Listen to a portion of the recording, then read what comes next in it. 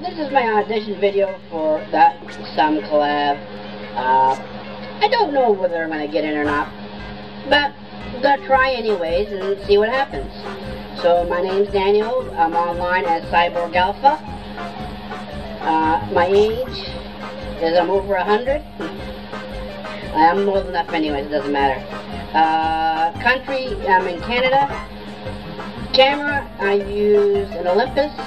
It's an old camera that uh, doesn't do HD, but I use a video editor to bump it up to HD. So, uh, for all intents and purposes, we're at uh, H uh, on the HD level. Um, my editing skills, you'll see this as uh, part of the videos. You'll see my voice change, and you'll see some uh, other music background effects. Alright, take it easy.